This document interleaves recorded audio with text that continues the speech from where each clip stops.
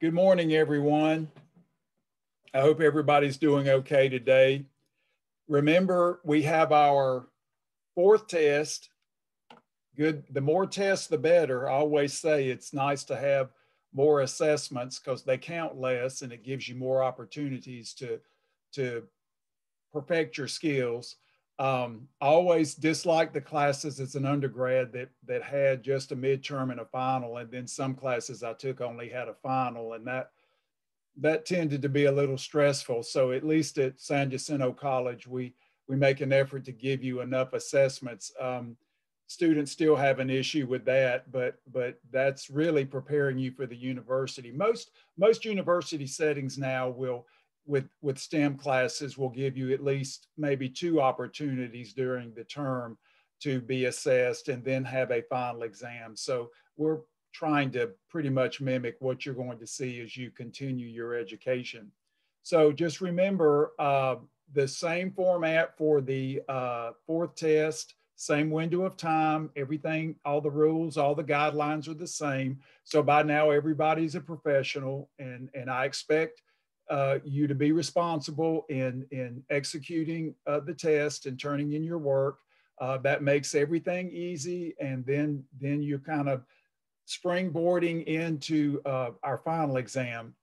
So what I'll do on Thursday is uh, if I don't complete everything today, I may uh, finish up a few items and then just go over some uh, review type items. Again, uh, that's merely to just remind you of what you have been doing. A lot of you I know uh, like to study on your own, but, but it's always nice just to see some review examples and get your mind geared uh, to the type of uh, topics that will be covered on the test. And just remember, uh, we will cover through the material last week as, as evidenced by the uh, Blackboard announcement. And again, I will stress, be sure to follow the instructions. Uh, if I ask you to do something on the test, then your test work should exhibit those uh, qualities. And I will, again, don't look for just an answer. Do not work backwards from the answers. That is the worst thing you can do. And that is the best way to get no credit. So you work the problem like you don't even know what the answers are and you work it out. That way, that way, then you can assess the responses and say, okay, I'm, I need to make an adjustment here. I might have an error or whatever. So that part of it is actually a boost uh, to, to your work. But again, work your problems completely in numeric order so I can read them. Uh, the final exam will be exactly the same. So I appreciate your attendance to that, attention to that and your attendance, uh, whatever. Okay, so um, what we want to do today is talk about sequences, the arithmetic, the geometric, and how they all combine together to, to basically give us an introduction to what you'll be doing in Cal 1 and Cal 2 when it comes to Riemann sums and infinite series. So you may have seen some of this before, but that doesn't matter. I'll just start at the beginning and we'll work through some ideas, basically some notation, just like we had with the trigonometry and the uh, conic sections. So let's go ahead and get started. I'll share my screen. Like I said, we have the new uh, IPEVO software, which again, uh, you future computer engineers and you future computer scientists, often software must be adjusted uh, to make use of, of the great internet connections and the uh, powerful computers that we have these days. So if the software is not taking advantage of that, it doesn't run as smoothly. So IPEVO updated the uh, format for uh, their document cam, and you can see it's really clear, just like it was before, but now the, it's smoother. So as, as I move and I talk, uh, it covers that in a very smooth, continuous way. So, so I like that. And, and this was a surprise last week. So we're, we're happy with this surprise. Now, what I wanted to do was start out with something you actually already know, but make it just a little bit more formal, but not a lot. When we talk about sequences, we're necessarily going to discuss sums or series. So I've kind of lumped this together. So what is a sequence? A real sequence f is a real valued function defined on the natural numbers. Now that's a fancy way of saying that you just have an ordered list. You have a first element, you have a second element, you have a third element, etc. And in most cases, the list is infinite. Okay, it can be truncated. So usually with the notation, what we do, instead of saying like f of n, where we've got the natural number, we'll just say a sub n. So n will be the input and a sub n will be the output. So we get two for the price of one. Now, when you notice this, sometimes this is called the nth term or the general term. So often when you look at a sequence, the first thing that comes to mind is that you're going to try to figure out, if possible, a formula for the general term. Maybe, maybe one is possible, maybe one isn't. But you might be thinking that when there is a formula that's possible, that may create some more mathematics uh, that makes the problem more interesting. So for instance, what, what are some examples? For instance, we could think about a list of real numbers, which is just the natural numbers. For instance, we could say one, two, three, four, etc in, etc. So this is like a, an ordered list of the ordered list. The, the natural numbers is, is what we call a well-ordered set. There's always a least element in every subset, and that's a very important property. The real numbers clearly don't have that. So we, we want to be able to maximize that property. So for instance, if we just had the natural numbers as a sequence, we could just say that the nth term is just n, where n is a natural number. And remember, we use the boldface n for natural numbers, one, two, three, four, etc. So that's, that's an interesting sequence, but not very complicated. Now, in, in section one of chapter 12, you just get some uh, practice working with some of the notations of sequences and you, you know, you fill in some values for n and get output. So it's really quite simple, but, but it's important to uh, basically get uh, accustomed to using the notation and just getting, you know, kind of like doing uh, uh, algebraic structures that we did at the first of the course where you added polynomials and multiplied them, just getting back into that routine. Now, when you look at a sequence, there clearly are some calculus things going on that you're going to talk about in calculus two, but what we like to do with sequences is add the terms, and that's where we create the series. That is, if we start adding terms of the sequence, we, we get what we call partial sums. And the reason I started with this is that this is a very famous, I call this a famous formula because its partial sum is something you're going to use in this class and also in Calculus 1. So for instance, we add the terms of a sequence to create partial sums.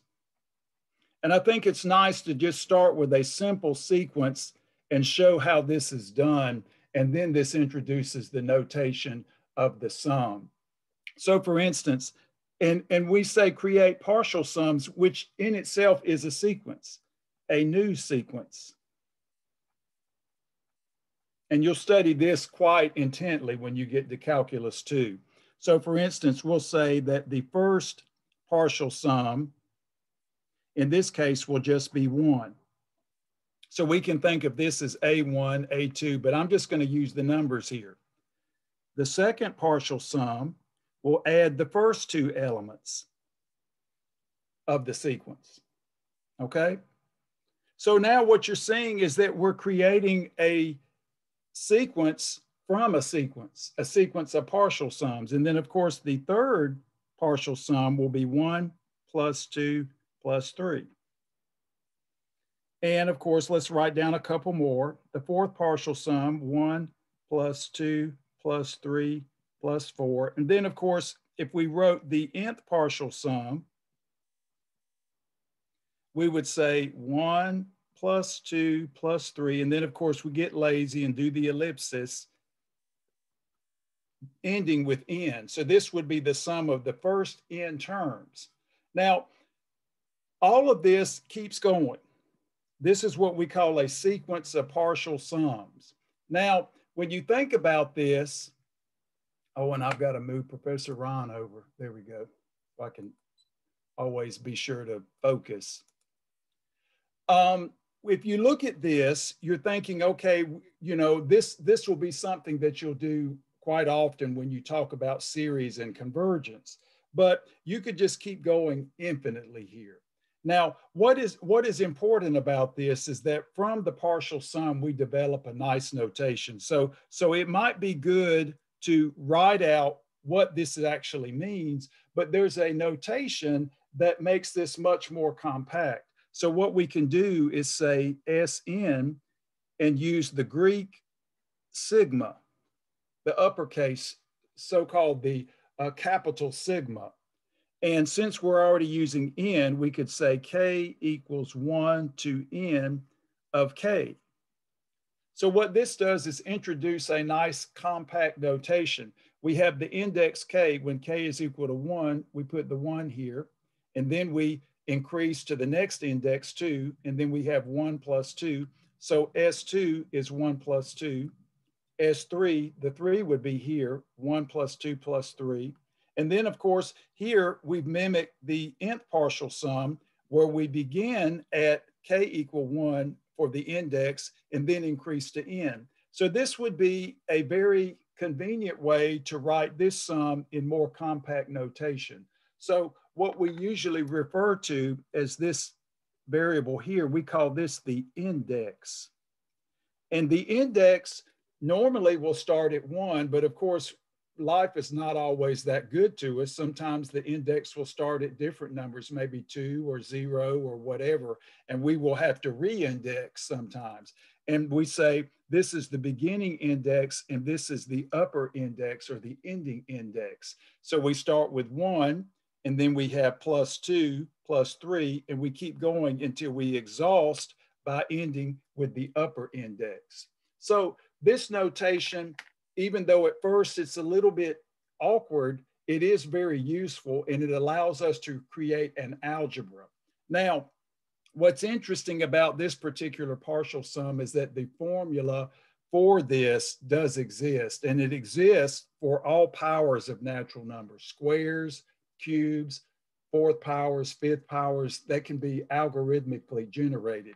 But this particular formula looks like this, m times n plus 1 over 2. And this is what we call one of the famous formulas. And it can be proven easily algebraically, and it can also be proven by induction, which we're going to talk about next week. So when you think about this type of construction, we're thinking when we start adding natural numbers like this, this may give us a convenient way to add a list of natural numbers. It certainly wouldn't be something that would exist at infinitum. So as n would get larger and larger and larger, this value would get bigger also. And so we would not expect this particular sum to converge at infinity. That means that if the values keep getting bigger and bigger and bigger, and we're adding larger and larger numbers, there's no way that this uh, sum could converge. And that will that will be something we'll talk about today, and also something you'll spend a good couple of weeks on in calculus too. So here's here's one of the famous formulas here. While we're at it, I want to go ahead and state two more. There's nothing sacred about just the first powers. Why don't we square them? So we're going to think of another partial sum. I'm not going to give it a name. I'm just going to write it down here. We'll say k equals 1 to n. And we, we think about the squares. So again, I'll write out a few of the terms. 1 squared plus 2 squared plus 3 squared ending with n squared. So the idea here is whatever expression we have here, this is basically what operations we apply to the indices. So when n k is one, we do one squared. Then we have plus, then k is 2, we have 2 squared. So here we're not doing anything but just adding the numbers. Here we're adding the squares. So we say this is the sum of squares of the first n natural numbers. Now, again, this has a very interesting formula. n times n plus 1 times 2n plus 1 divided by 6. This can be proven algebraically or it can be proven by induction and we will we will learn about induction. For now, these are good are good formulas to to uh, to learn uh, and put on note cards because when you take calculus one and you do Riemann sums, you will use these in your computations, and they'll be they'll be the linchpin that gets you from the initial setup to the to the uh, finish line. Okay, so again, if we add the first n natural numbers we have a partial sum formula. And again, this is a luxury. Usually we don't, it's not often the case that we can get a really nice formula for a partial sum. And when we can, we're, we're, we're happy about that. Now, another one, again, we could just keep going, but the, the last one that I want to talk about would be, okay, let's just go ahead and extend this to the cubes, because this would be another form that you would find some use of in calculus uh, one. So we could think of adding the cubes. So we'll say one cubed plus two cubed plus three cubed, etc., ending with n cubed. Now, again, this has a nice compact formula. Again, another luxury, and it happens to be the square of this one. So it's n squared times n plus 1 squared over 4. Now you're thinking if we have some properties for sums, algebraic properties, it may turn out that these famous formulas could be extremely useful to us, and they will be. So, so again, sequences are fine, but we get the most, at least, output when we think of manipulating them by adding in, in a very systematic way the terms of the sequence. We, we don't want to be haphazard, even though that's something you can talk about in calculus. We want to do it very systematically, where we add the terms in a precise order, starting with the first, second, third, going in that direction, okay? So, so this is a very systematic way of adding terms of a sequence. Now, there are all kinds of sequences. And I want to mention a couple more, but before I do that, since I've gone ahead and talked about the sums, I want to give you some properties of sums. So here are some properties of sums.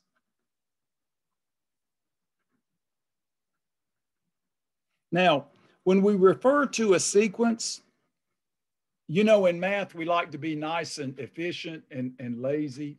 So we might say in this case that we refer to the general term. We'll say A sub n, I'll just do an and here.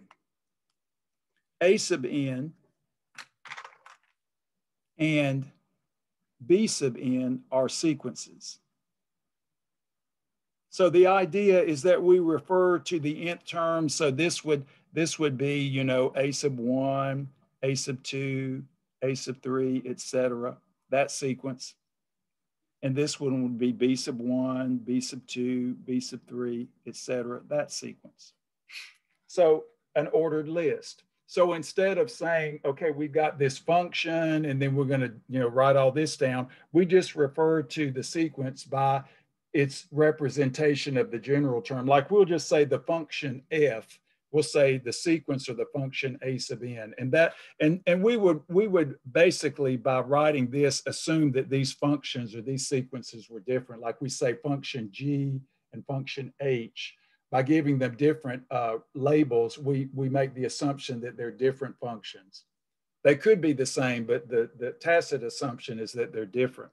Okay so we've got two sequences and fix a real number c So what we want to do here is say if we if we've got sums, do they have nice algebraic properties like we have for the algebra of sums? And we and they do, they do exist. So let me write some of these down. They're very simple.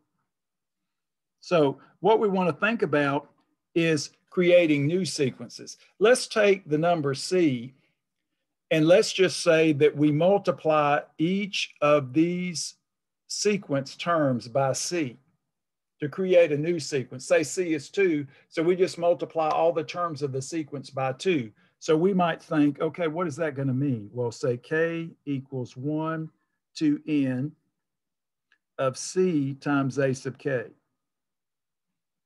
Well, you would think since C is a constant that we could actually factor that and then add the terms of the sequence as we normally do. And that's exactly the case. You can factor the C and do the partial sum like I've already defined.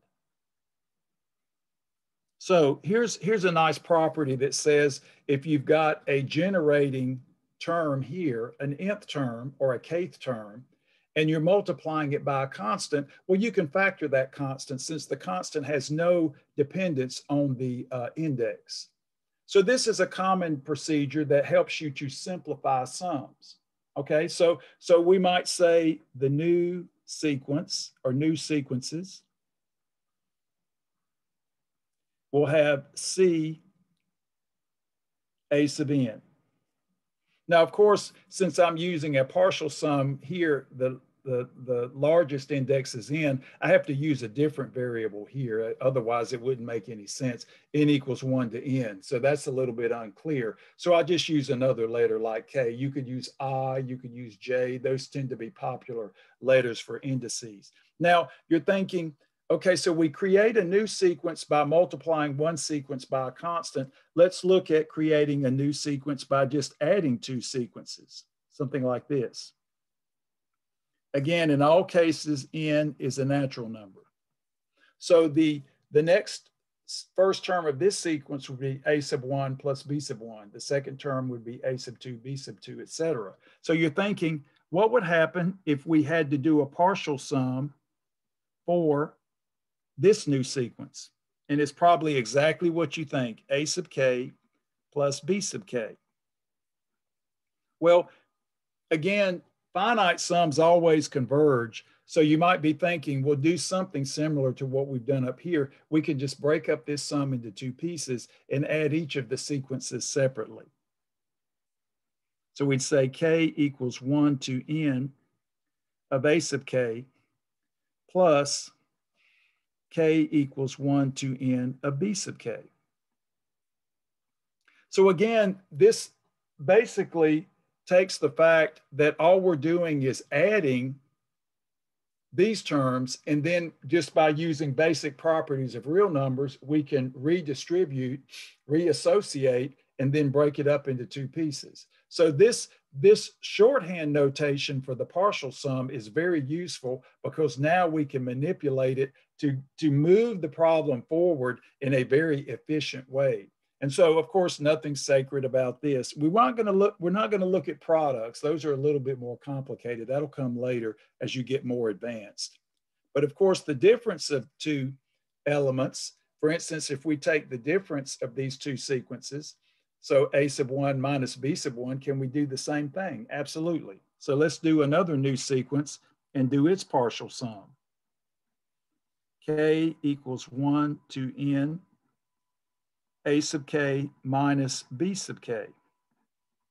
So then we look at this and say, well, this will be the same property, but we'll switch the plus to a minus.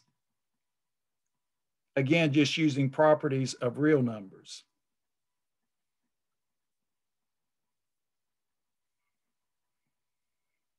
So now you're thinking, if we had to do a finite sum, we could possibly use some of the famous formulas in conjunction with these nice properties. So, so again, not, not even difficult, but with the new notation, you, you're thinking, okay, these are functions. Okay, so we can add functions. You're thinking when you add two functions, you can break them a piece apart pointwise, subtracting, adding, same thing. of course, now with the sums, the, the products and all that are a little bit more complicated and you're going to talk about that when you do power series in calculus 2 and even division. That will be polynomial multiplication and long division when you get to power series. So we'll hold off on that uh, when you're a little bit more advanced.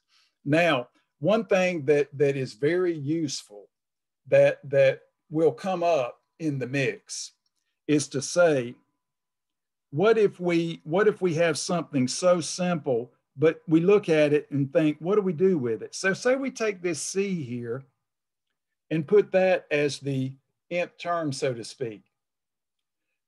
We know the first thing we can do is factor this because it has no impact on the uh, the k has no impact on it. So we're, we're leaving behind a one so to speak. So we'd have something like this. So i'm doing a mini proof with this we're getting one here. So, so the idea is when you have the sum of one from k equal one to n, you're basically adding one to itself n times. So, so this is when you've got the property of the C here, the result will just be NC as long as you're starting at one. And this is important.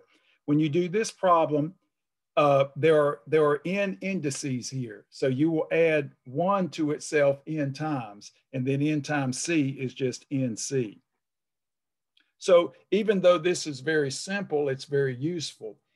It may very well be the case that you, you know, you turn up with this, like for instance, here's an example of this. Say we have k equals one to 10 of two.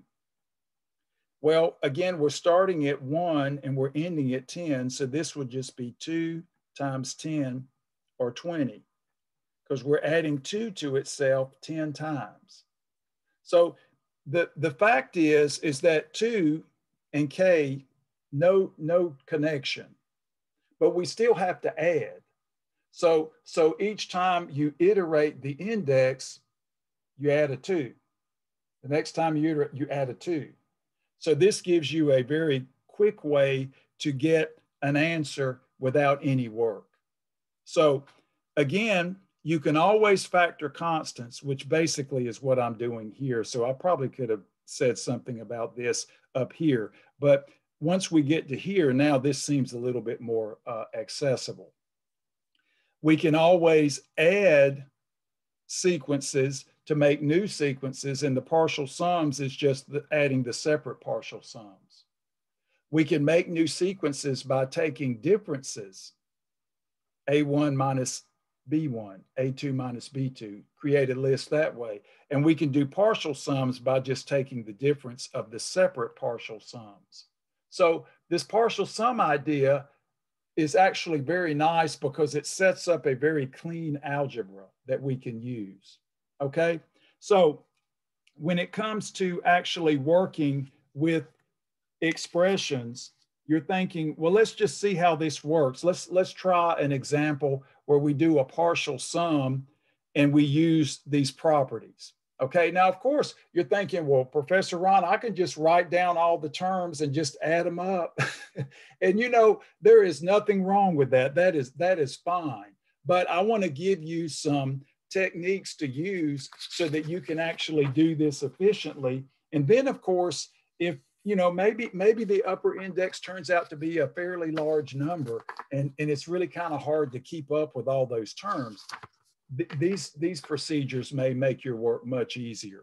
So here's an example where we can use our new uh, properties of sums and the famous formulas. So I'm going to say compute the sum.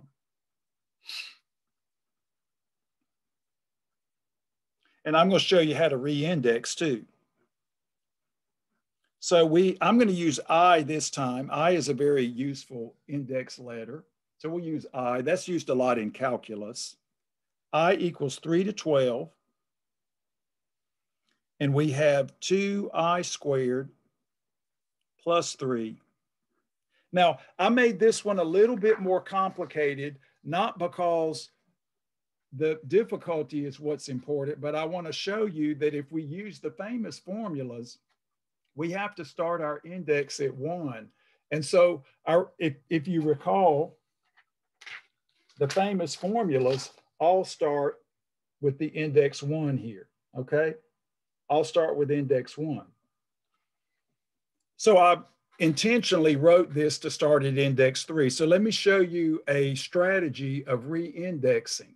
So our, and of course, in this case, I'm gonna make it a little bit harder. I'm gonna put a square there. I, I don't wanna make it too simple. So it's two i squared. So the i is squared. Let me write that so it's easy to see.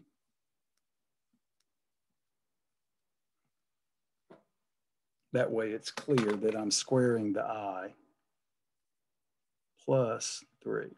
That's a little bit clearer. So to re-index, so we want to start at one. So we're gonna say, we're gonna say start at one. So basically what this means is that we have to subtract two from this. But if we subtract two from this, we have to add two here to compensate for it. So, so basically, this is the scheme. So this will give us the sum. Okay, we're going to subtract two here and subtract two here. I equals one to 10. And then now the i must be incremented by two here. Two times i plus two quantity squared plus three. Now let's just see that this works. When i equals three, here, notice we have uh, i squared, that's nine. Nine times two is 18, plus three is 21. Now here, when i is equal to one, we have the same thing. We get one plus three, so that's a nine times a two, which is an 18 plus three equals 21. So these, these are correlated to be equivalent. So, so now it, it, it's very nice here that we have our sums beginning at one as opposed to three, because if we want to use the famous formulas without having to re-index all of them, it's so much more easy to do this. And then we just kind of cast the famous formulas into the problem with a lot less uh, difficulty. So re-indexing is something that we will do and something you'll do in calculus all the time. So it's nice to see that it's just very common sense approach, nothing, nothing complicated at all. Now, what I'm going to do is expand this and then we're going to clean it up and use the famous formulas just so we can practice. Now, again, there are many ways to do this problem, but I'm going to do it so it exhibits all of the nice uh, properties that we've derived. So this will be i equals 1 to 10. And so now go ahead and expand the square. So we have 2 i squared plus, okay, 2i, so that's going to give us a 4i plus a 4. And then we have plus a 3 here. Now, when you look at this, you're thinking here, this is just going to be a matter of extracting a two in this particular case. Now, the idea is if we break up each of these into nice sums, we can operate them on, on them separately with the famous formulas. So now let's just see what we have. Let's go ahead and break this up. So we're gonna have the first sum. We have two i squared, i equals one to 10. And next, we'll have 2 times 4. So this is i equals 1 to 10 of 8i. Okay, remember 2 times 4. And now we have 2 times 4, just adding 8 to itself, plus i equals 1 to 10. 2 times 4, that's 8. And then the one way out here you know, I didn't, I didn't reduce this, so I'll just go ahead and write it out. This will just be adding three to itself 10 times.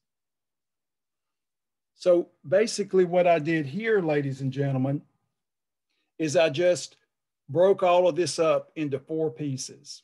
Notice the I squared is a famous formula that we know. The I is a famous formula that we know, adding the first in natural numbers. And then these are just adding uh, numbers to itself in these cases 10 times, which is using this property here, right here. So we're breaking it up using uh, one, two, and three. And then we're going to use 4 now. So again, all these constants can be factored. So we get 2 times the sum, i equals 1 to 10 of i squared. This is what you'll be doing in calculus. It's, it's important to learn how to do it. And if you don't see it until calculus, you won't be able to do it. So we factor the 8 and the 2, leaving the i squared and the i. And now, of course, we can just bring these out. So plus, now you're thinking this is just adding 8 to itself 10 times. So we have 8 times 10. This is adding 3 to itself 10 times. So this is just 3 times 10. So that was the easy part. Again, no dependence on i. So each time we increment the index, we add an 8. So we add 8, 8, 8, 10 times. We add 3, 3, 3, etc. 10 times to get these. Now we can use our famous formulas. So we have 2. So for the square, remember, we have n times n plus 1 times 2n plus 1 divided by 6 and this is where n equals 10. So we'll just put our little value for 10. So I wrote the formula and n will be evaluated at 10, right here, 10. Sometimes you can do a vertical line. I just put this in a box so you won't miss it. Then we have plus 8. We're going to use our famous formula. This will be n times n plus 1 over 2 and then of course evaluated at n equal 10. Usually you can write a vertical line, but it'll just be easy to do that. So this formula will be evaluated at 10. I didn't want to go ahead and substitute it because then you wouldn't be able to see the formula. So this way you can see the formula and the value that we have to substitute for n. And then of course here we have plus 80 plus 30, okay? So now we can go ahead and substitute. Notice two over three, uh, two over six, the two absorbs into the six to give us a one third. So we have one third. And then we can substitute 10 in for n. So 10, 11, and then two times 10 plus one, 21. Okay? So that's very straightforward using the famous formula. Of course, now the two absorbs into the eight to give us a four. And then we can substitute the value of 10 for n, 10 times 11. And then lastly, of course, here we just get 110. So now you can see that you could have just substitute all these numbers and added up, but if that were maybe a, a 50, this would still work and it'd be much easier. It's easier to, to do it in a systematic way than to try to keep track of that many uh, elements to add. But again, this, this is how you actually navigate a Riemann sum in taking a limit to provide uh, uh, uh, the definition of the Riemann integral. And this algebra is important. And without the algebra, you don't get to the finish line. So, so even though you think, well, I could, I could just use my fancy calculator and of course, and learn absolutely nothing. So, so again, the key in doing STEM mathematics is understanding it and being able to work it out. So when you get to Cal 1, you can navigate the waters, so to speak. So now let's just go ahead and finish. The 3 will absorb into the uh, 21. So here we get 10 times 11 times a 7 plus, now we've got a 4 times a 10 times an 11 plus a 110 so we got nice numbers here. So this is what? This is a 77, 10 times a 77 and 10 times a 44. And then that's just 10 times 11, right? But I'll just write it that way. So this gives us 770 plus 440 plus 110 so we can easily add these up. So zero, so we get an 11. So we get a 12 and 110. So that'll give us a what? 1310 plus a 10 or 1320. So the what I what I wanted to do here is kind of give you an example that covers all the bases.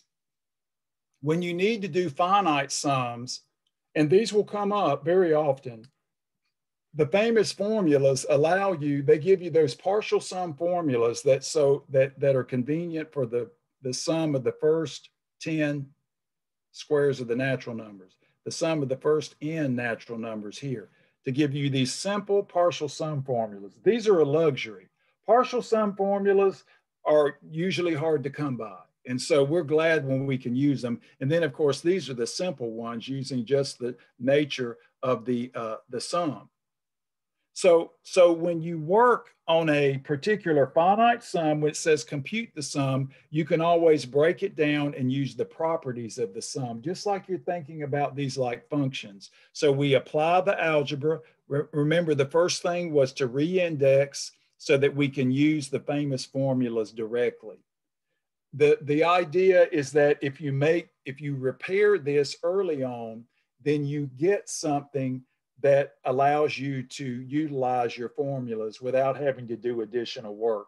And I think that's worth it. So reindexing is something that you will often do, and especially when you all get to uh, differential equations, calculus two reindexing and differential equations when you solve uh, differential equations uh, using power series, you will often have to reindex. So it's a good it's a good way to start now to build the foundation as you uh, get into these more uh, uh, advanced courses. And they're only more advanced because you know more. It's not it's not like you know you're not ready for it now. You will be ready for it. We're just preparing you for it.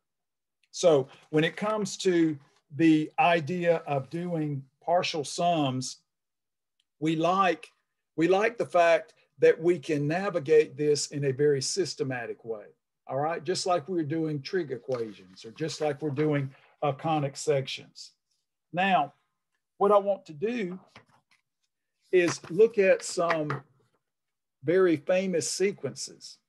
Now, they're, they're, they're telescoping sequences, they're arithmetic sequences and geometric sequences that are actually really kind of nifty.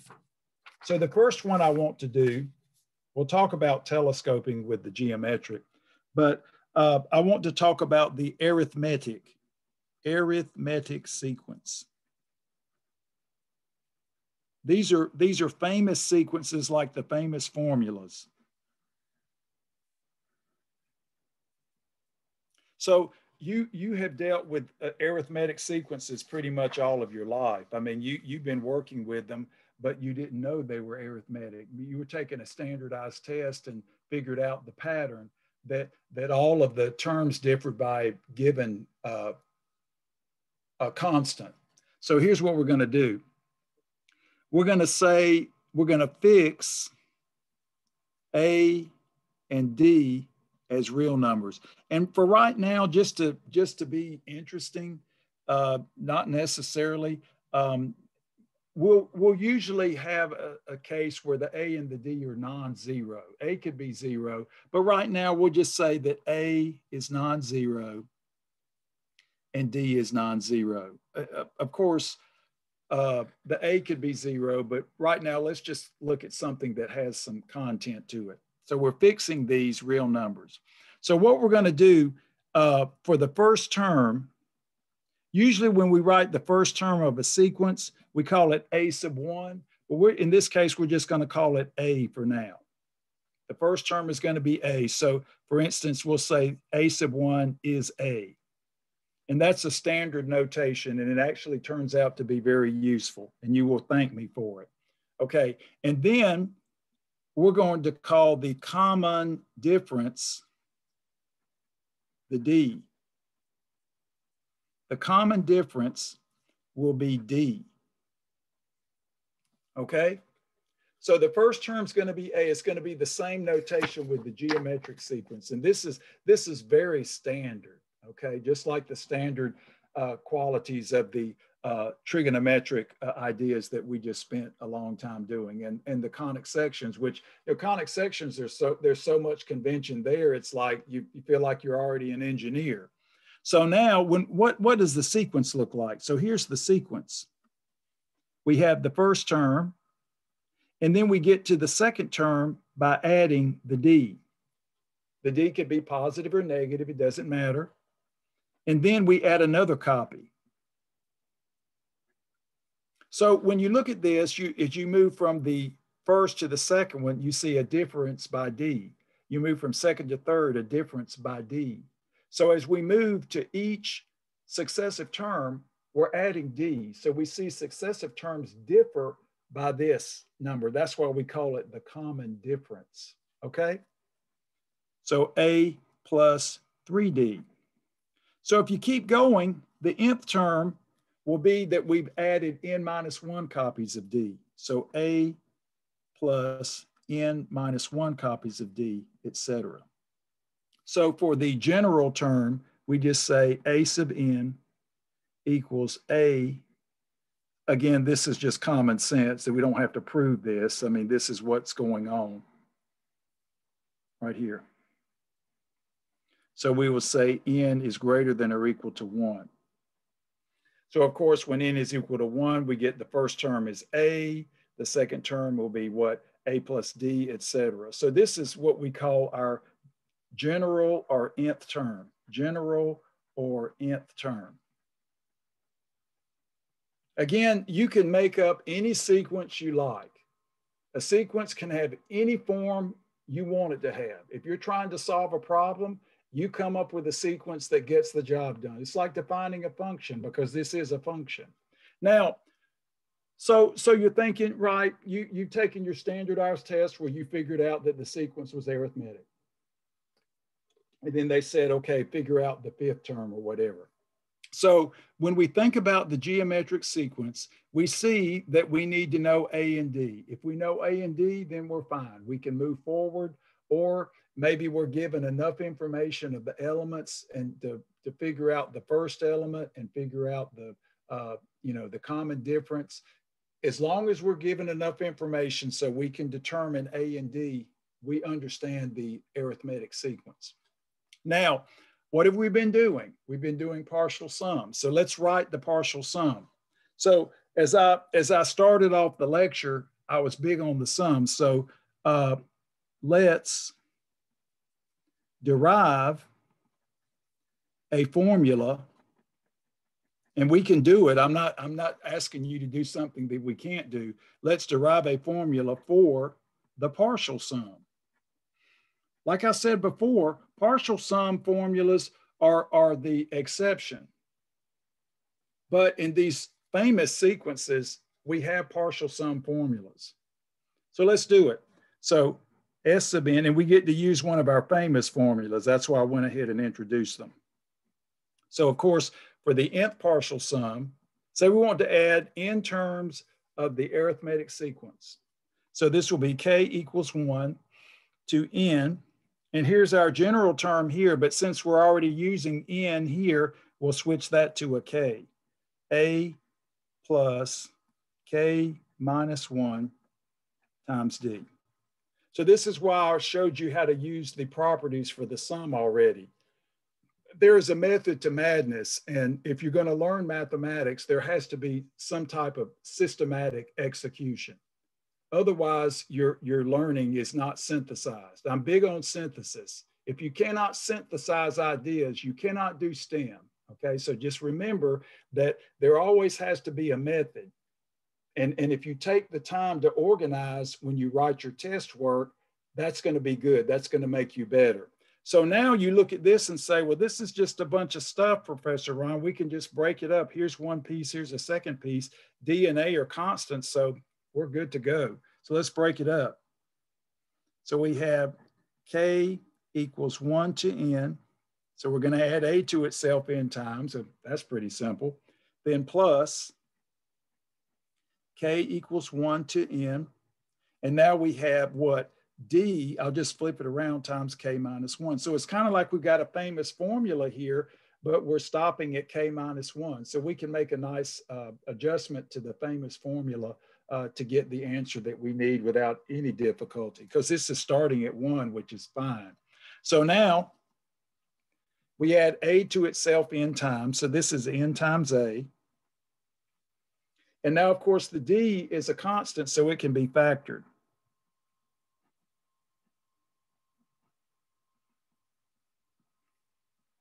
Now, like I said before, when we look at this, this is adding the first natural numbers, but we, we, we start with one, but we end with n minus one we, because here we're subtracting one. So you're thinking, could we do the famous formula and then just subtract one and do it that way? Absolutely, but that's that's too difficult. We we can we can we can focus here. So now what we're seeing is we're only ascending to n minus one and not to n. So we can make an adjustment in our formula to keep this much more easily uh, executed. So this is NA plus D, and now we're only ascending to uh, n minus one. So we get n minus one times n divided by two. Again, we're, this is k minus one, so the largest integer that we have is n minus one. So again, n is replaced with n minus one. So n becomes n minus one and n plus one becomes n. So that's the adjustment we need, but hardly a difficult adjustment. So here was the famous formula. Famous formula.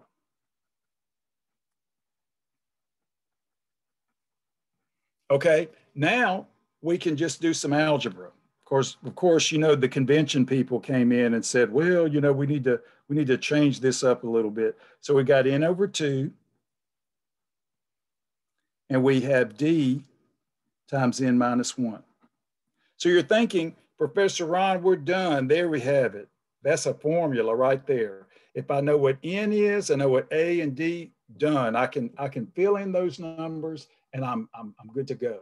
Now, this is not how the formula looks in the in the standard literature. And here's what here's what happens.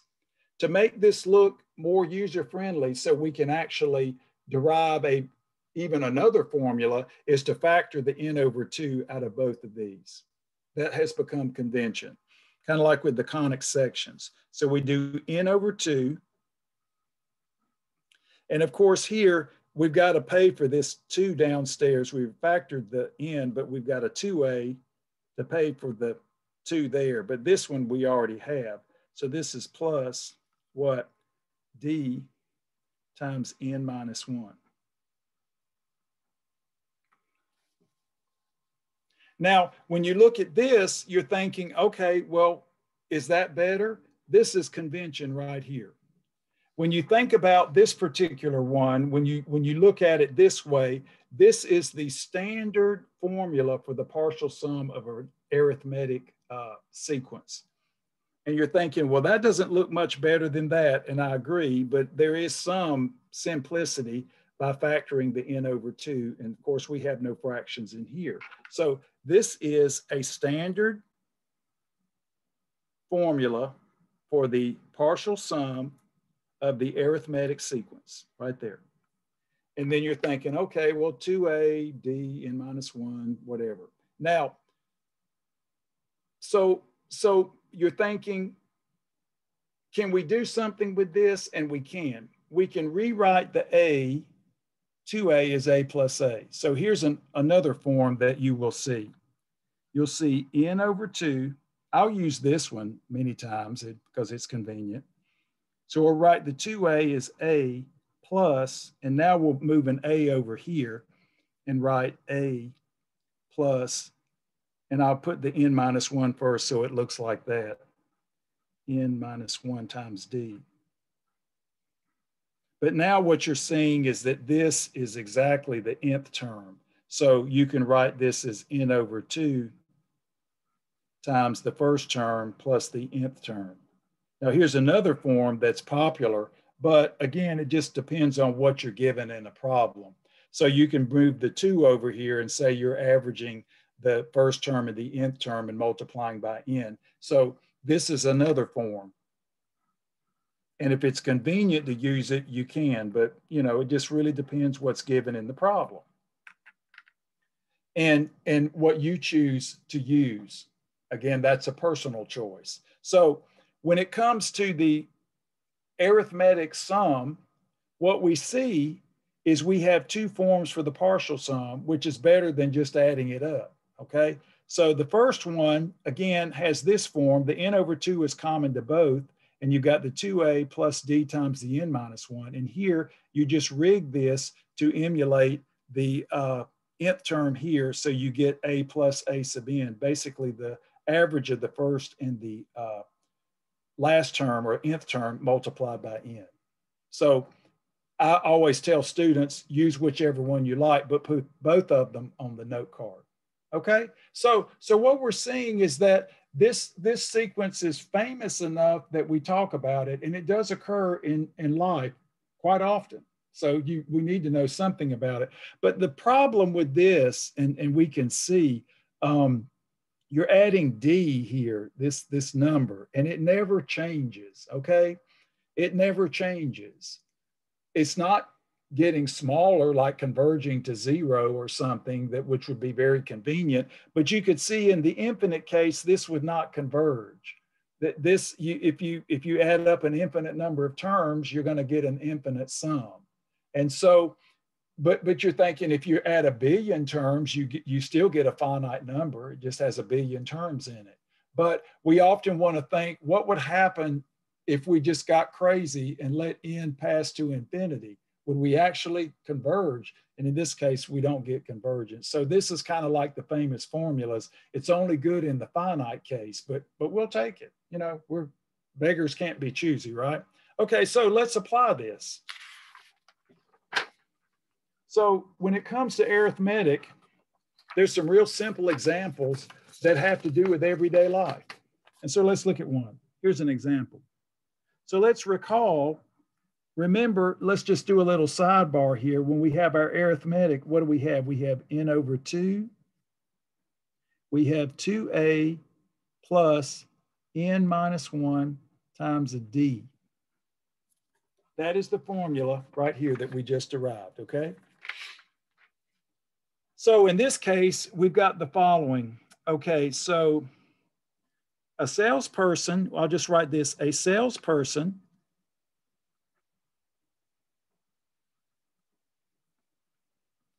is offered a starting salary of 30,000 per year. 30,000 per year. For each subsequent year, for each subsequent year, the salesperson receives, in this case, a $2,000 bonus. I'll put little dollar signs there so you know $2,000 bonus or raise. So we, you get hired, and then as you look at the subsequent years, you get that extra bonus or raise, 2000. So here's an example. Here's here's here's something we can do. Here's a question that would make sense. Maybe maybe you have a new job and they give you this information and you want to figure out how much money are you going to make in 10 years. So we'll say how much money how much money is earned after 10 years. So, you know, your friends say, well, how much money is that going to be in 10 years? You work 10 years, how much, how much money will you have made? And, you know, of course, before taxes and all, but, you know, that's fine. You know, it, the, the idea here is that arithmetic sequences are part of our life. So, so what we want to do here is frame this as arithmetic. It's set up that way. So in your notes, just say frame as arithmetic. And of course, you wouldn't, this wouldn't be infinite anyway. So the fact that this doesn't converge in the infinite case is not horrible. It's just that we really wouldn't need it. So if we want to think about the salary as being the, the uh, components or the uh, what do we want to say this? when, when you talk about a sequence, you have the terms, and we want the terms to represent the salary that he's making each year. So in this case, we're going to say A, the first term, will be $30,000.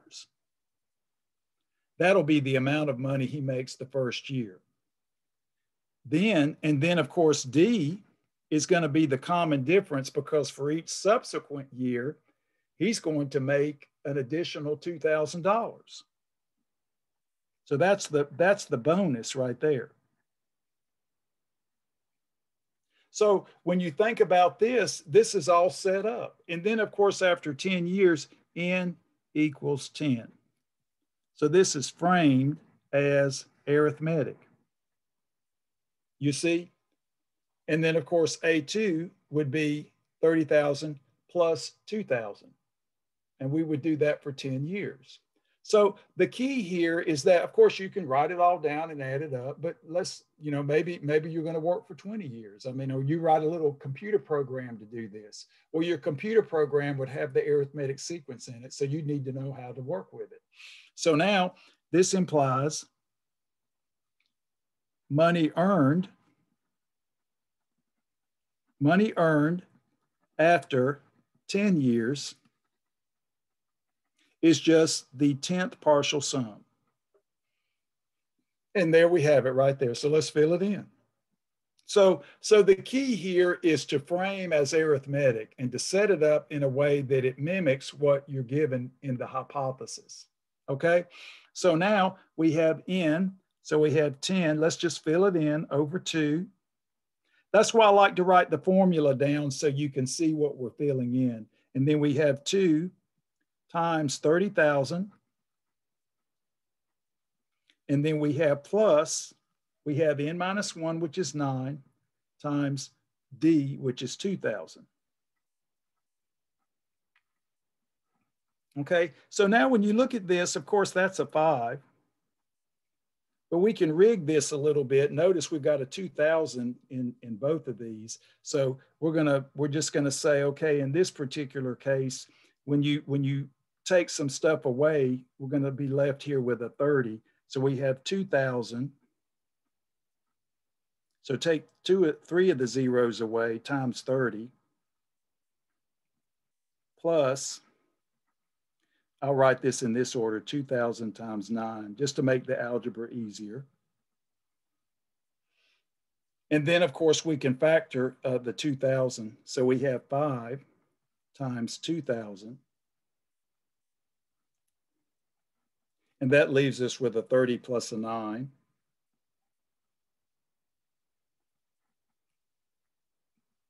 So of course now these numbers are really easy. That just gives us a 10 with three zeros. So we have 10,000 times a 39. So we tack on the 39 and the uh, four zeros.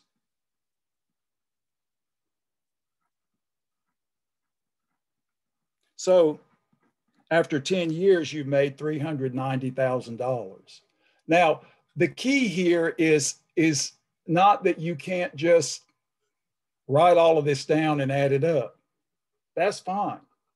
But say you've got to do this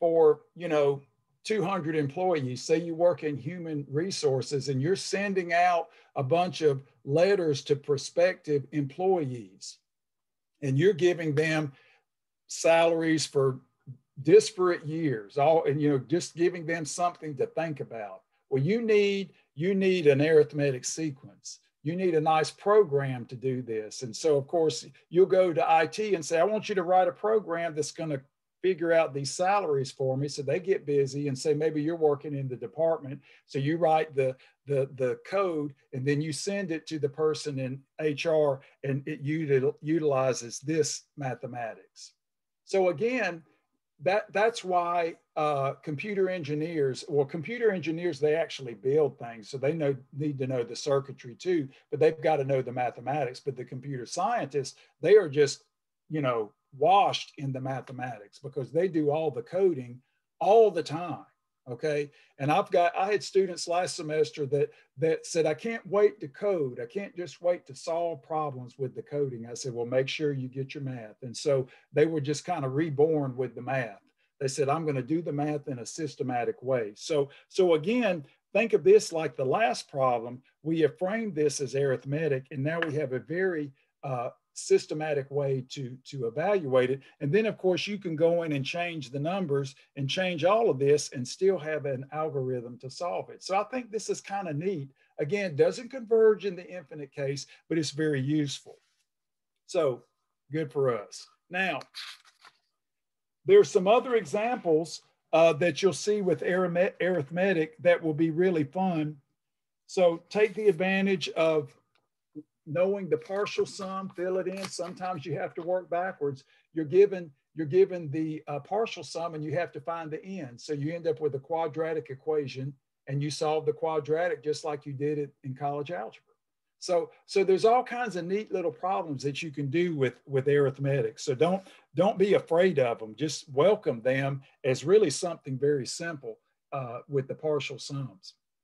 Now, the arithmetic is, is popular, but the next sequence, geometric, is probably the most important sequence that you will study in calculus. Uh, it is the linchpin of infinite series and power series when you take calculus 2.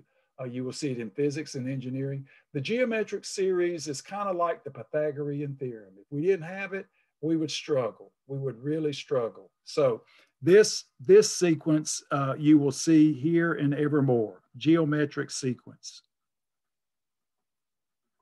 I remember I may have already said this, asking a visiting professor from when I was in grad school. She was in uh, complex analysis. I said, What would we do without the geometric? She said, Well, probably work a lot harder. I said, Well, let's not think about that. I'll, I'll, I'll just forget that I asked that question. But she laughed and said, Yeah, it is, it is a linchpin. So in this particular case, we're going to characterize a different kind of sequence with the similar notation, but with one change. We're not, in this case, we're not going to have what we call a common difference. It's going to be a common ratio. So what we're going to do is fix A and R as real numbers. Now, again, just to be a fuddy-duddy, you know, let's just assume that A and R are non-zero just to make the problem interesting. Otherwise, it, it doesn't make much sense to us. So we're going to say A and R are non-zero. Zero is a terrific number, but here we want some content. Now, what we're going to do in this particular case is form a sequence just like we did last time. We're going to say A will denote the first term, just like we did before, first term. So basically A sub one is A. Again, this is, this is a common notation. It's not set up to be difficult. It just makes the formulas. You think about the formulas that we've done, ladies and gentlemen, here. Makes the formulas look so much nicer. Why do you want to put extra stuff in there that would be confusing? You see what I'm saying? So this is standard and it actually makes the formulas look better. All right. So now we'll have R. This is going to be called, and of course, this has to be non-zero. This is going to be called the common ratio. Common ratio, as opposed to common difference. Now, here's the sequence. Like arithmetic, the first term is A. And now to get to the second term, instead of adding R, we will multiply by R. So we have AR. So now if I take the ratio of AR and A, I get R, the common ratio, you see? So if you look at successive terms in ratio, the result is what? R. A2 over A1, R. A5 over A4, R. So of course, to move to the next, we multiply by R, so we get two copies. So you're thinking this looks just like arithmetic instead of adding the copies, we're, we're multiplying. So now as you move up to the nth term, you're going to multiply by n minus one copies of r. Here's the first term, here's the nth term, etc. So we say a sub n is a r to the n minus one. This is our general term or nth term. General or nth term. In, in, in calculus two, we often say the nth term when we're, when we're writing the series, we say the nth term uh, or the generalized term or the generating sequence. I think Dr. Larson uses nth term because it just takes less energy to say, which is fine. So now, just like we had before, if you're given enough information, just like with arithmetic, so that you can determine the A and the R, then you understand this sequence, okay? If you have the A and the R or some means of actually determining that, then you have the geometric sequence that you can write. So again, what's nice, at least, at least at this point, is that we do have a way to get the general term. That's what I was saying at the beginning of the lecture. If, if, a, if a sequence like, like a random number generator, that's something, a combinatorial uh, object, a function that generates random numbers, okay? That in and of itself is nothing that you can pin down. Okay, so that that's a sequence that that okay, we need it, we need it, but it wouldn't be something that okay, here's a formula for it. There's a certain combinatorial way to produce random numbers in a probabilistic way. But when we look at these types of sequences, there is enough order about the way the sequence is described that we can actually write a formula. And we can also write what we call recursive, where the third term depends on the previous term. The, the fifth term depends on the previous two terms or whatever. We, can also do recursive sequences and you'll see that as you work through the homework. So when we look at this, there's enough organization here that we have a nice way to generate any element of the sequence that we would like. Okay, now of course, uh, we derive and this is where we're going to talk about telescoping, we derive a formula for the partial sum.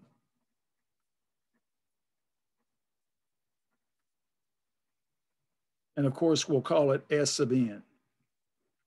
Now, you can think about your favorite uh, uh, geometric sequences where R is one half. You start with one, you know, one, one half, one fourth, one eighth, one sixteenth, one over 32, one over 64. You're thinking, yeah, that's a really interesting sequence because those elements are getting closer and closer and closer to zero. And you're thinking, hmm, this might be a situation where we actually do get some convergence in an infinite case if we have certain restrictions in play. And we'll talk about that. So this this sequence has a higher level of importance because for certain values of R, it converges in the infinite case. So that is why it has so much importance in mathematics. It exists in the finite level clearly and also in the infinite level uh, with certain restrictions. So how can we do this? So let's just first note the following.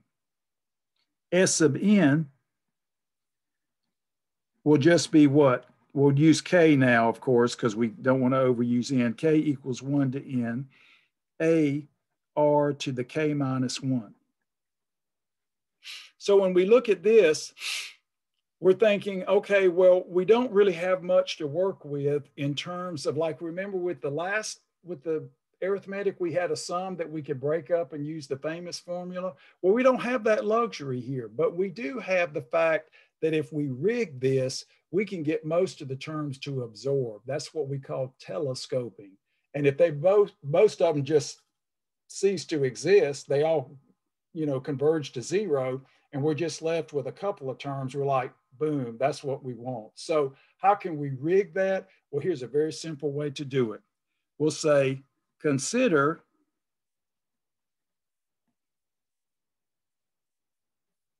S sub n minus r times s sub n. That is, consider this sum, and we want to, what, what I just said, create a telescoping sum.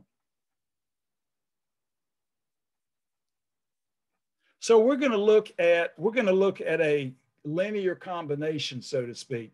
we're going to take the partial sum here, and then we're going to multiply the partial sum by the common ratio, which is a constant which we can move inside. But notice, notice from the very object that I have written here, it factors. So I'm going to write that down first. This is just S sub n times 1 minus r.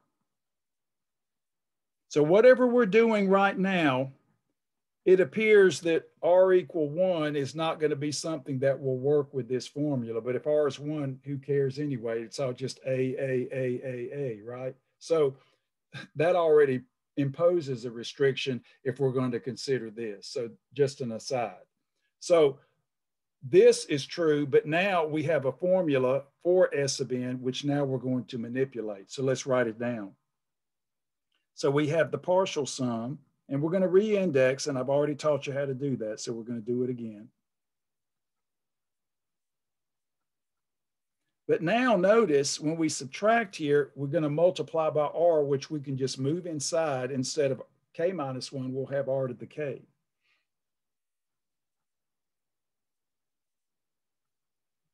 So we have a r to the k. So that's why I gave you the properties of the sums so that we can now move the constant inside and then multiply and use the laws of exponents. Now, when you look at these two sums here, you're thinking, something some's not going to work very well, Professor Ron, because these terms are not like. The A is fine. The A is on our side. However, the, the fact that the powers are different, it's like saying x squared minus x cubed. That's as simple as you can get. You could factor it, but you can't combine it in a way that you get one term, right? Because they're different terms. So what we're going to do is we're going to re-index. We want to make sure that in this particular case, we get sums that are aligned, so to speak. So what I want to do, and this, and this is completely arbitrary, there's nothing unique about this. I want to make this, convert this into a K, so now these terms will be like, and then pay for it. So write this down. So K, this is going in the opposite direction. Instead of changing the index, we're now gonna change this and then change the index last. So K will become all right, let me put the minus one. K minus one will become K. So that's gonna be our strategy. So that now these will be aligned. So if K becomes K minus one, we're adding one here. So we're gonna have to subtract one here to compensate for the incrementing of one in the nth term. So let's do it. So we'll get K equals zero to n minus 1, just like we did before, but in the opposite order, right? And now we get A, R, K. So now when K is 1, we just get A. When K is 0, we just get A because R to the 0 is by definition 1. So that works. Not very fancy, but it works. Now minus this sum, which we're leaving alone. So this technique of re-indexing, ladies and gentlemen, is of extreme importance, but it basically just relies upon your common sense. It's not, not some major theorem. In, in uh, when I teach differential equations, I, the students always like, well, what are you doing? I'm like, okay, we're just going to add one here. So we're going to subtract one here to compensate. It's kind of like completing the square. If you're going to add a magic number, you have to subtract it. Otherwise, you've changed the expression. So we're simply making adjustment here and countering it here so it gets us where we want to go. So now notice we've got a zero term here and we got an n term here. The zero term is not here and the n term is not here. So let's pull those away as extra. So now for the k equals zero term, let's just say k equals zero. That's just gonna be a. And then we'll start at one. This is where we see the telescoping at play now. And now, of course, here we're going to have a k equal n term that we don't have here. So first, we're going to write down the terms that we're going to leave in the sum, k equal 1 to n minus 1, a r k, and then we'll have k equal n right out here with a minus. So when k is equal to n, we get a r to the n. right there. But now this is what I was telling you. These are the same object. This is the absorb part. This is the telescoping part. Look at all these terms in the partial sum that go away. And you're thinking, well, boy, that's a strange way to get a partial sum formula, but it's right there multiplied by one minus R. So this equals zero. So this does telescope.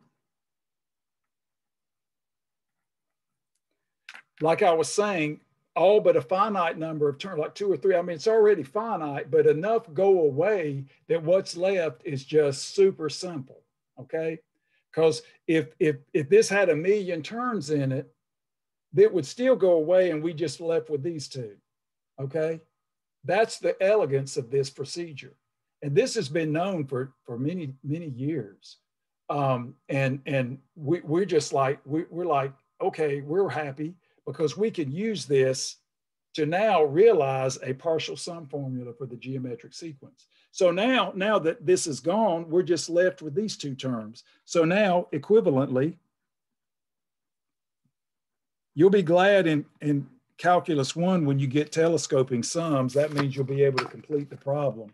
So we have one minus r.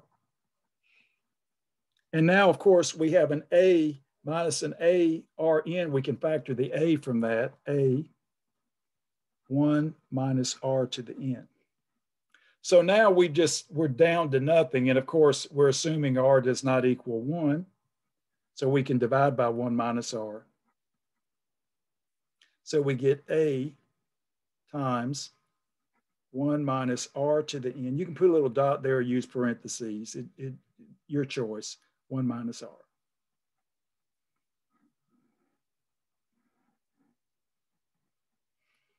So you're thinking, wow, let's, let's just compare. For the arithmetic, we had something like this. Not completely simple, but you know, we can remember it on a good day, put it on your note card. Now, when you look at this, you're like, okay, that's not so bad either. You know, got to get used to it. But for the partial sum, we have A times the fraction, one minus r to the n, we're in, you see, we're see, and, and now we're like, oh, oh, look at this, look at this. Let's let's finish the story. What does this actually equal? Let's write it down. K equal, this is our, this is kind of like our little uh, uh, formula chart to n, A R K minus one. We'll just tack on what it actually is. So a times 1 minus r to the n divided by, divided by 1 minus r is actually this sum right here, notated this way. So if, if we're going to work with a geometric sequence and we want to use this sum, then we're going to have to make the sum look like that. I mean, the sum will need to look like this if we're going to use this formula or we have to rig it in a way so that we know what A is and we know what R is and we know what N is. Because without all of that, so the geometric is more complicated than the arithmetic just because of the multiplication property. So when we use this formula, this is like A plus AR plus AR squared up to ARN minus one. That's what this is. And the sum is right here. So we see the N we got these indices and this nth term, n is right here, A, R, blueprint. But again, don't fall into the pit by just saying, oh, well, you know, is it an ellipse or a hyperbola? There's a big difference, okay? You have a major axis and you have a transverse axis, okay? You, you, in one case, you have what slant asymptotes, in the other case, you don't. Okay. So, so the thing is, the convention is important, extremely important. So, so now we look at this and say, okay, so what about that infinite case you were talking about? Let's talk about that. Then we'll do some examples. So now, one thing you're going to learn in calculus is the following, and this will be a limit you'll learn in calculus. That is, if the absolute value of R is less than one, this implies that the limit as n passes to infinity of r sub n is actually zero. You'll be able to prove that. Right now, you just have to kind of look at it intuitively, that as you raise uh, numbers to larger and larger integer powers that are between negative one and one, the, the numbers get closer and closer to zero. Now, of course, that's not a proof, but the intuition is, is, is really compelling. And so when you look at this and you think, okay, well, hmm, that makes sense. So if this is the case, then we can now say, if we have, now I could just use n instead of k. I don't have to worry about the n's going to go to infinity.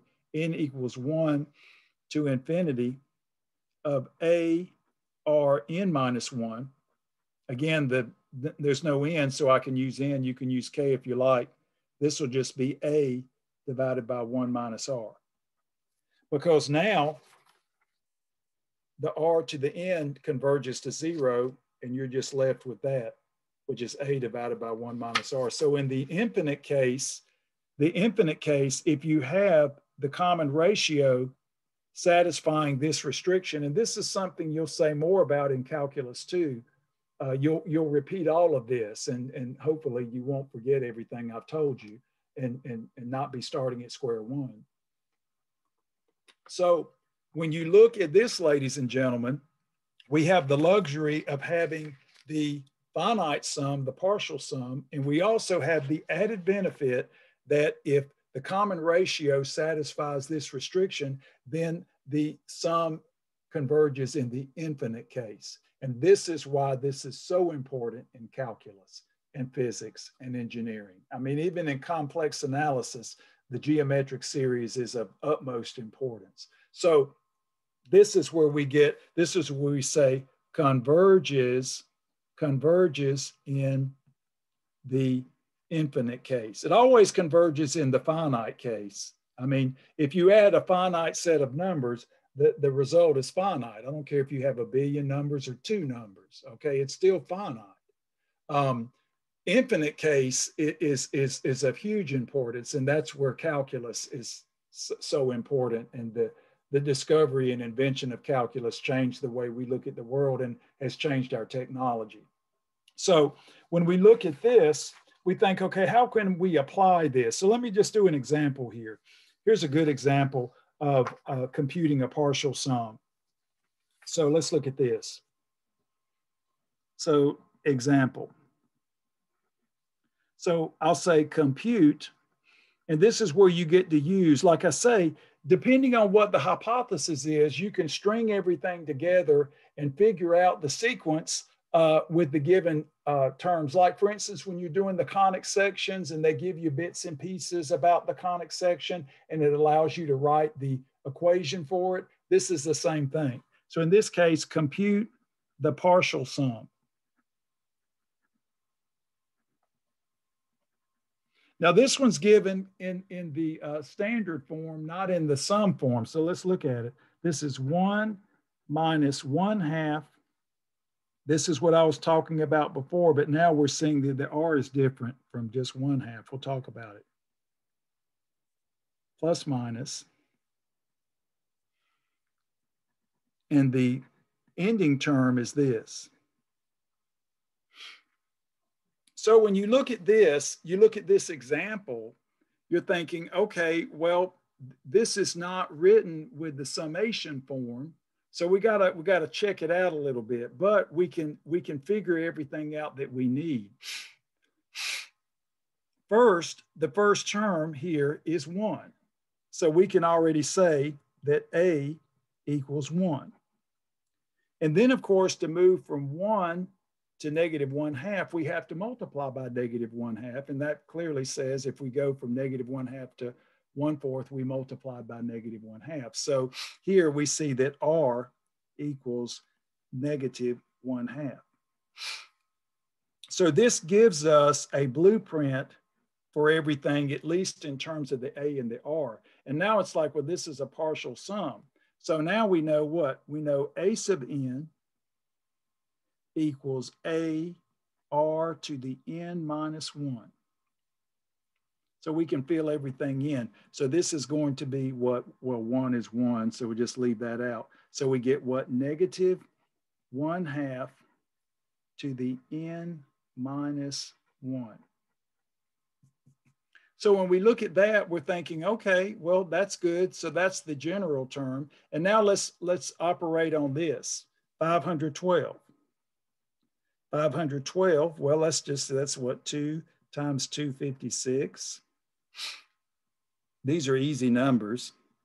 And then, of course, we can break this up. This is 2 times 2 times 128. Just breaking it down to some manageable numbers. 2 times 2 times 2 times 64. Just going down to some small numbers that are easy. 2 times 2 times 2 times 2 times 32. So now we know 32 is just 2 to the fifth. And of course, you probably already knew this.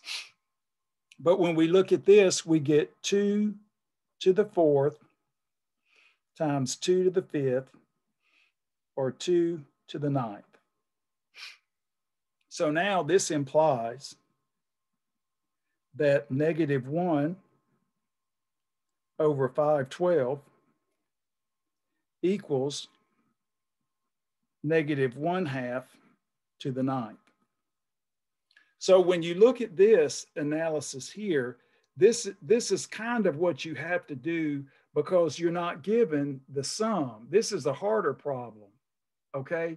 Because if you were given the sum that looks like this, then you're good to go. If the sum is this, or you can rig it so it looks like this, you get your N, you get your A and your R, boom, okay? That's a, that's a luxury.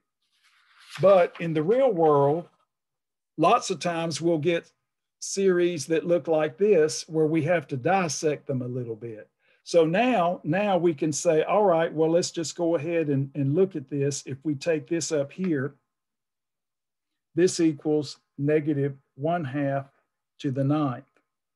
Now we've got common bases. So we're using the one-to-one -one property of exponentials. So this implies when from this analysis and this analysis that n minus one equals nine. Of course, if we add one, n equals 10. So now, not only are we ready to do this problem, we know that we're doing the 10th partial sum. So we have A is one, R is negative one half, and N is 10. So we're ready to go. So, so again, when we think about this, if this had been written correctly, the upper limit would have been 10 and we could have said oh we're good to go. We know what a is. We know what r is. We're, we're done. But it wasn't written that way so we had to figure out the 10 using this analysis and then comparing the two uh, exponential equations or exponential terms. So now this implies that S10, so we've got A, which is one, and then we have one minus negative one half to the 10th. And then we get one minus negative one half. So let me just write over to the side what I just wrote.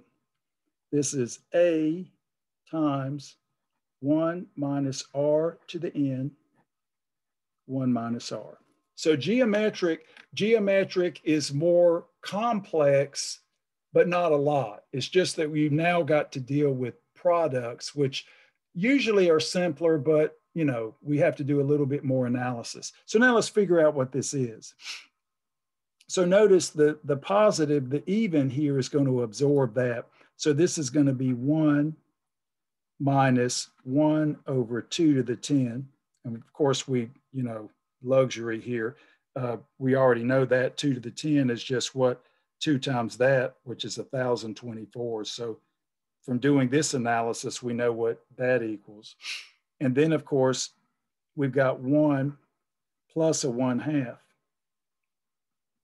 So now what do we have? So we've got 2 to the 10th, which is 1,024. So we have 1,024 minus 1. And of course, this is just 3 halves. So let me just put the line here. So this will give us 2 thirds. And now, of course, we've got 1,024 and here we have what? 1,023. So one thing about the uh, geometric is that we definitely are going to encounter much more uh, complex arithmetic because of the ratios that we don't have with the arithmetic, but that's okay. It, we got to pay the price because this is such an important result and, and the price is worth it. So now, of course, the two will absorb here. That'll give us a 512.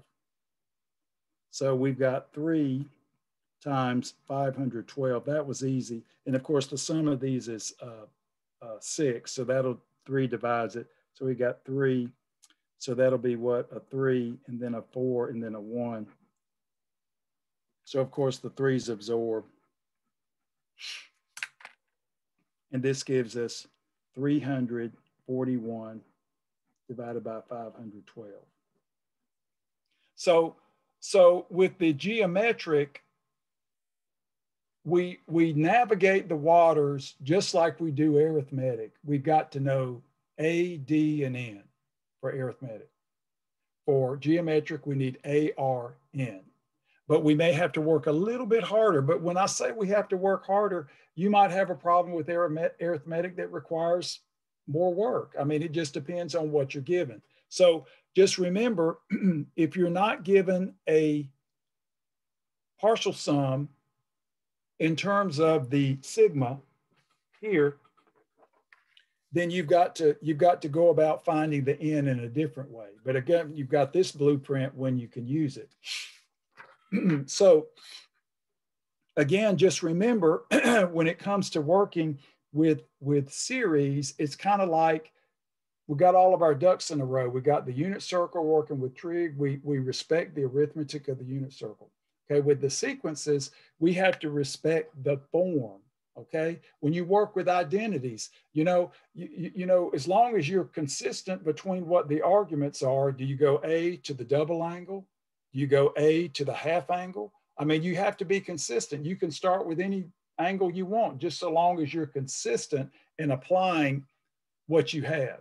So once you set up the convention, you respect it. And so we're seeing that our convention for the geometric is really nice. And of course, as you take more math, you'll make some subtle adjustments here to, to make your life a little bit easier because it may turn out that with a reindexing, you can write the series in a way that's beneficial for maybe power series. So when you get the power series in calculus two, uh, you'll be using the geometric as a means to create new power series through partial fraction decomposition, through term by term integration and term by term integrate uh, differentiation. So it, there's going to be so many opportunities to use a geometric.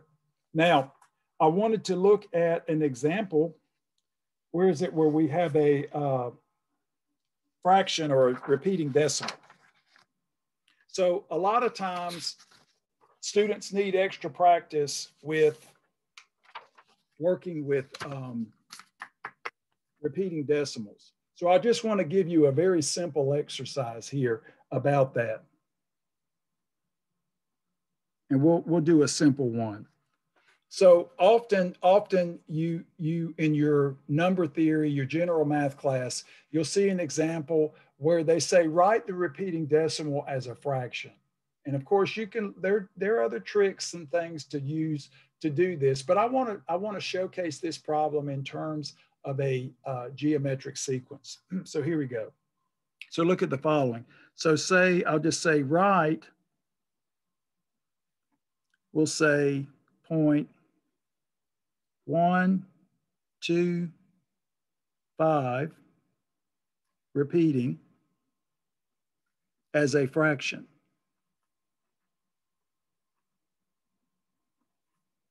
Of integers. Now this is easy, but I want to show you that this is actually geometric, okay? So now, when you look at this, this is 125, 125, 125, 125. So let's write it down. So this will be point 125. So we can think of 125 divided by 10 to the third. And then we're going to move three decimals down to the next 125. 125, 10 to the sixth. To, again, to move everything down three more decimals. Keep going. 125, 10 to the ninth. Write one more, 125, 10 to the 12th, etc. So basically, when you when you characterize a repeating decimal this way, you're seeing that it is actually a fraction. That is, this is 0.125, and this is 0.000125, and this is 0.000000125, etc. So this is just moving the unit 125 down three more decimals, down three more decimals, down three more decimals. So when you look at this, you're thinking, okay, well, let's set this up in terms of uh, geometric. So now, and, and this is where you have complete flexibility. You can say, okay, well, there's my, right there, there's my first term. And then to get from this term to this term, I multiply by one over a thousand or one over 10 uh, to the third power. So we can characterize this, if you like, as, and this is, this is completely up to you. This is not unique whatsoever. We can say n equals one to infinity. We'll say 125 over 1,000. And then we'll have 1 over a 1,000 n minus 1. So this is the infinite series. And this is using, I keep, let's see here. Where did I put that last one? Maybe covered it up. Well, here we go. Choosing this one right here. Okay, so when we compare, we have the A, we have the R, the n minus one, and then of course the n has been replaced with infinity as the upper limit. So this is the infinite series. And over here, let me write this in red. A equals 125 over a thousand. It just depends how you characterize it. It doesn't matter. Any choice of manipulation is fine as long as it's legal. R is one over a thousand. And n passed to infinity, right? Okay, so this is the infinite, and I did an easy one where we didn't have extra numbers hanging out so you can easily see this. And then you can uh, graduate to more complicated things where you got non-repeating parts that you just kind of move over to the side. You compute this and then add them in, and then you're done. So infinite geometric series. Now, of course, there are other mechanisms to do this, but I wanted to show it this way so you can actually see that this is indeed geometric. So now let's write our formula here. n equals one to infinity. This will be a over one minus r. So now we've got a. So this is 125 over a thousand. And then downstairs, we have one minus R, so one minus one over a thousand. So we get 125 over a thousand. And downstairs we have a thousand. And so this would just be what? 1,000 minus one. So this gives us 125. Now, of course, the thousands absorb I'll, I'll just write it two ways. These absorb clearly, but let me write it so you can see that more clearly here.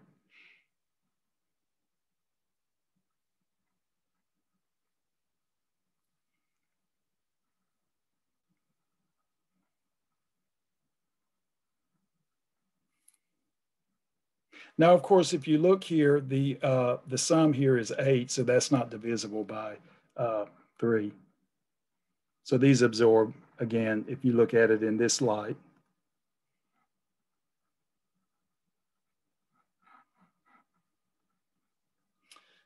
so now, and, and this is not a surprise. This is absolutely no surprise to you. That is, repeating decimals are algebraic in the sense that, you know, you think about numbers like pi and e and the square root of two. Square root of two is still algebraic. However, things like pi, they, they, they, they, they are even on a higher level. They don't, they don't do this. Square root of two does not do this. But any repeating decimal can be written as the ratio of two integers. And that's a, that's a very fascinating fact. It's kind of like at the beginning of the class, I said the natural numbers are well ordered. Why are they well ordered? Because every subset of natural numbers has a least element. But that's not true for real numbers. And you know it's not true. What if you have the subset zero to one where the uh, zero and one are not part of the set. Well, there is no smallest real number greater than zero. So the luxury that we, we enjoy when we talk about sequences, at least with the natural numbers, is kind of lost as we move to real numbers. But we, of course, gain so many continuum properties for real numbers that we're okay with it. So when it comes to working with decimals, it's not difficult as for instance, if you're dealing with uh, repeating. Now, again, there are other techniques to do this, and you may have seen them, and that's fine. But I want you to practice this. I want you to practice this technique here of characterizing the repeating decimal as a uh, ratio of two integers and characterizing it as an infinite geometric series, because that's one other opportunity to, to uh, capitalize on this. Now, I want to just set up an example that I will finish next time, but let me get it started. This is just a nice application uh, in, your, in your homework. And we'll get it started and then I'll complete it. So example, I thought it was nice, uh, a nice example. So it says a ball is dropped from a height of nine feet. The ball always bounces up one third, one third of the distance it has fallen.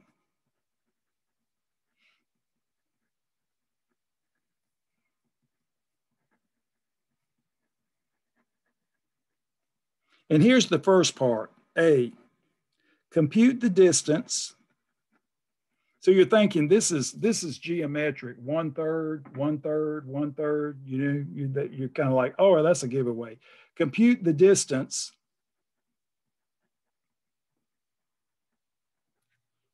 traveled by the ball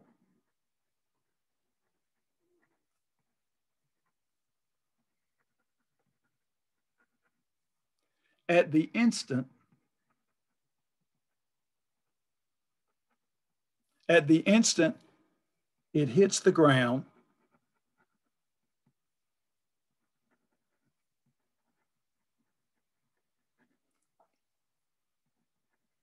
the fifth time. And of course, this can be generalized clearly. But what's nice about this problem is that you can actually generalize it easily if you set this part up right. I mean, you can do problems in a piecemeal fashion. And so I'm just going to set it up and we'll finish this next time as a, a, a, a icebreaker for uh, the next lecture. But here's what I want you to do, and you can think about this ahead of time. And you can fill in some details, but i am I'm about out of time, but I'll, I'll go ahead and set this up. Do a little diagram. So you've got the ball and it hits the ground and you've got nine feet here. So you hit the ground right here, then second time, third time, fourth time, fifth time, something like that. Okay. A diagram is really nice. It helps you to organize. So here's what I want you to do. Think about this. Here's the first. So we just say first, second, third, fourth, fifth. So what I've done here is I've just notated when it hits the ground. So of course, we, you know, when you think about this, and this is what I want you to consider, here's the distance here. I mean, if you, if you, if you were like a, doing calculus, which would be even harder to do, you're thinking, okay, how do we how do we do the distance? We're not actually doing the arc length, but we've got this distance. But as we go here, we've got the distance up and distance down. Distance up, distance down. Distance up, distance down. Distance up, distance down to the fifth impact. So what I want you to do is think about how you would actually compute these distances, at least up, using the given information, and then sum it by noticing possibly that you've got a geometric progression in this. So the key is this. Not only are we interested in how high the ball goes, but then we have to keep track of the distance back. So this, this gives a diagram of the actual path of the ball, okay? It doesn't, it doesn't we're not actually computing the distance or the length of this curve. That's what you do in calculus. So when we think about this, we're thinking, how can you take this diagram and figure out? So here's what I want you to think, just like I've done here, distance, distance, distance, distance. I think this is a nifty little problem. And when you generalize it, if you set this up very carefully, then you have a rubric, you have a blueprint to generalize using the formulas that I've already given you. So I want you to think about this. Now, of course, if you're busy getting your homework done, you may not have much time to think about it. It's a beautiful problem, but I will, I will finish this uh, at our next lecture and then we'll do some review examples. But I hope, I hope that you see that as we complete the course, we're, we're covering ideas that kind of just pull in disparate topics. With sequences, it's like, hmm, I got done sequences in college algebra. Yeah, you could have, but you're at a higher level now. So you can understand what I'm talking about. So we're pulling in all these concepts that you may have spoken about in your number theory type general math class. And now we're giving them a little bit more foundation. So what we'll do after this is we're going to take those famous formulas and we're going to talk about mathematical induction. So we've got these series based upon sequences, partial sums, how interesting. And then we're going to look at proving logical facts about natural numbers with induction. And then from induction, so we'll pull in some of the famous formulas. And then we're going to think about how can we extend the binomial theorem based upon what we've already talked about in this class and give you some ways to deal with binomial coefficients and some computational details that you'll use in calculus. Because when you get to calculus two, you will do the binomial theorem in the more generalized case where the powers are actually fractions. So then you're gonna learn about how your uh, calculator works. So what's so nice about calculus two is that it introduces the concept of the series and the Taylor polynomial which gives rise to the way the computers that we use actually calculate values for logarithms, trig functions, algebraic functions. It's not magic, it's just arithmetic. So I hope you've enjoyed this. This is always fun. And I say everything about math is fun, but I'm clearly biased. But uh, on uh, Thursday, uh, I'll complete this and then we'll talk about uh, some review examples. So I wish you well as you study. And again, I appreciate your attendance today. Again, it's not, not too much longer. And just remember, I sent out the email about the uh, signature assignment. Again, it's a very straightforward problem using the law of cosines. You'll enjoy it. You'll submit that online and that'll just be an extra quiz grade, okay? So, so don't forget about that. I've given you plenty of time to think about it and it's like, you know, you got a million things to do, I know, but this will give you an opportunity for an additional quiz grade. And again, keep the college happy because we have to keep track of your critical thinking skills, but you're taking a math class, so you're pretty good at critical thinking. But everybody have a great day. Good luck as you're studying. And again, thanks for your attendance today.